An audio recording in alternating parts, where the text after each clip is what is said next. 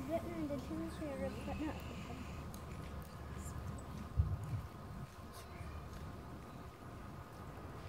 Thank